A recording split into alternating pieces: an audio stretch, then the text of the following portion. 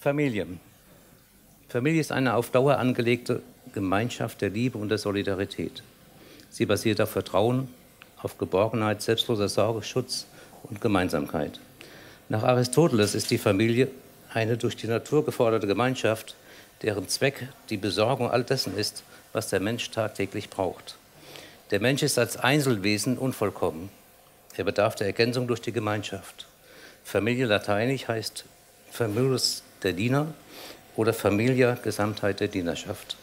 Familie ist der Ort, an dem der Mensch Liebe, Vertrauen, Geborgenheit und selbstlose Sorge erlernen kann. Es geht um Werte wie Rückhalt, Schutz, Hilfe und Unterstützung. Eine durch Netzwerken entstehende Familie kann den gleichen Gesetzmäßigkeiten folgen. Man beschützt sich gegenseitig, man hilft sich gegenseitig, man unterstützt sich gegenseitig, man dient sich gegenseitig. Die Familie, die ich Ihnen heute Abend vorstellen möchte, ist ein sehr bunt zusammengewürfelter Haufen. Wir sehen Menschen, die ohne Netzwerk so niemals zusammengefunden hätten, aber bereits nach wenigen Tagen echte Familie leben. Ich gebe Ihnen später Beweise dafür, was Netzwerken kurzfristig alles erreichen kann. Die Familienmitglieder selbst könnten unterschiedlicher nicht sein. Sie besteht aus Schönen und Reichen. Miss und Mr. Germanys, eine arbeitslos gewordene Hauswirtschafterin, zwei Krankenschwestern, eine Altpflegerin, einem türkischstämmigen Boxweltmeister, einer Tierärztin, einer prominenten Schauspielerin, einer sehr bekannten männlichen Diva und meiner Schwägerin, die noch einige Tage zuvor die Straßenseite gewechselt hätte, wenn sie die tätowierten Bad Boys unserer Familie begegnet wäre. Wirklich herrlich. Mein Job bringt mich mit den unterschiedlichsten Menschen zusammen, von ihrem Alter, von ihrer Herkunft, von ihrem beruflichen Werdegang, von ihren Wünschen, Hoffnungen, Sehnsüchten. Ich liebe meinen Job. Er hat mich gelehrt, Vorurteile abzulegen und absolut offen zu sein. Er hat mich erkennen lassen, dass wir uns alle nach Zusammengehörigkeit, nach Familie und Geborgenheit sehen. Der Gedanke, Menschen zu öffnen, war geboren.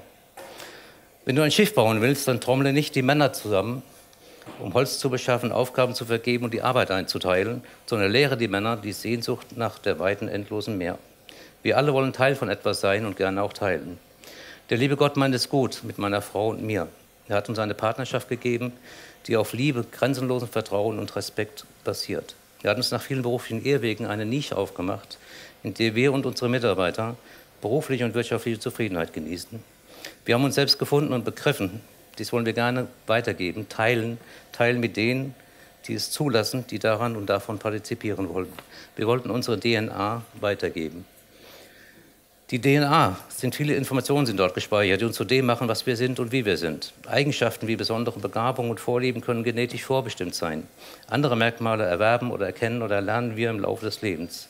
Den Eltern dieser Familie hier war es wichtig, die Vererbung des Gens der Nächstliebe, der Warmherzigkeit, der Fürsorge und der Aufrichtigkeit weiterzugeben. Das ist alles schön gesagt, aber der Funke muss auch überspringen. Die Eier müssen befruchtet werden. Es ist nicht nur wichtig, was wir sagen, wie wir uns als Vorbild verhalten, ist meist wichtiger und lauter als unsere Sprache. Wir müssen das, was wir sagen, wir müssen das, was wir denken, auch sagen. Und wir müssen das, was wir sagen, auch tun. Und wir müssen vor allen Dingen das, was wir tun, auch sein. Das ganze Leben ist Senden und Empfangen. Als Familiengründer, auch einer Netzwerkfamilie, stehst du unter ständiger Beobachtung. Du bist Funkturm, du bist Sender, du bist Empfänger.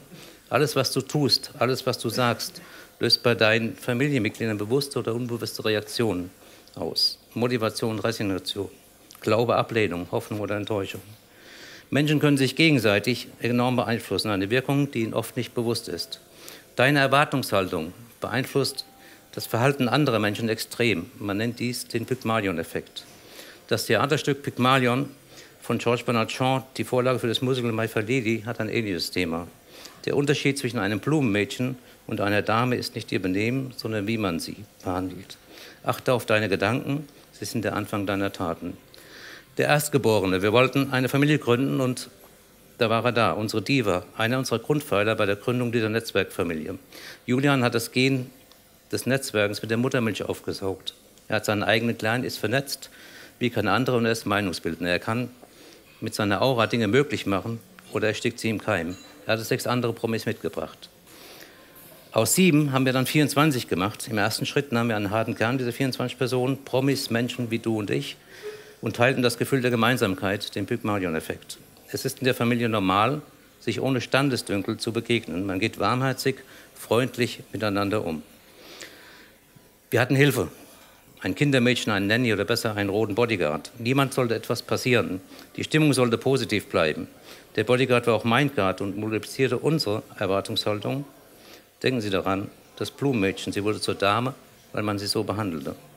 Am Sonntagmittag 12.30 Uhr roter Teppich auf der Galopprennbahn Neue Bold. Der harte Kern von 24 trifft auf weitere 100. Alle hatten den gleichen Wissensstand. Jeder wurde informiert, was kommt, wer kommt, was abläuft. An diesem Tag explodierte es.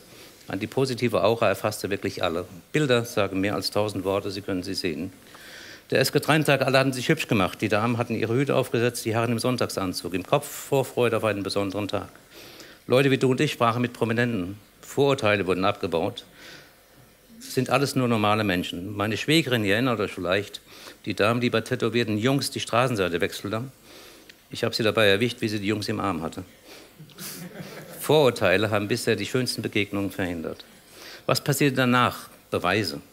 Die Mädels, Mona, Erika, erstes Treffen. Mona kennt Irina, Irina kennt andere, kennt Kira. Irina hat einen Schulladen in Hamburg, dort werden jetzt Erikas Bilder ausgestellt. Caroline macht Taschen. Jetzt natürlich in Hamburg. Kira macht auch Taschen, auch in Hamburg. Erikas Bilder, jetzt in Hamburg im Schuhladen und auch bei Kira in Essen. Claudia und die Tierärztin, die Hauswirtschafterin. Ich weiß nicht, wie der Tag ausging. Vielleicht ist sie nicht mehr arbeitslos. Die Tierärztin hat vielleicht ein Problem gelöst. Was passiert danach mit den Jungs? Florian ist Chico Gentleman des Jahres 2017. Er hat an diesem Tag sein neues Management kennengelernt. Oliver, RTL Bachelor, ich erwähne ihn doch.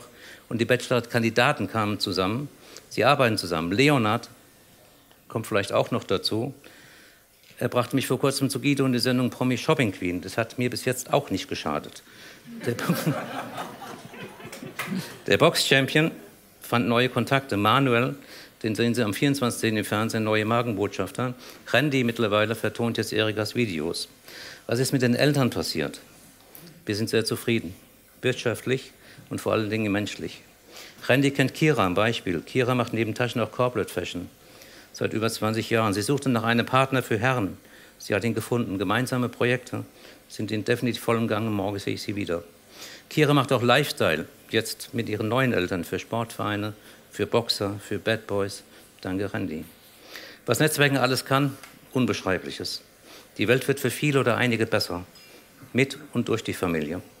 Bereite dich als Familienvater allerdings darauf vor und habe nicht die Absicht nach sofortigem Nutzen für dich. Gebe alles und erwarte nichts, du wirst reichlich beschenkt. Wenn du die Welt ein wenig besser machen willst, gründe eine Familie und pass auf die Familie auf. Take care. Danke. Thank you.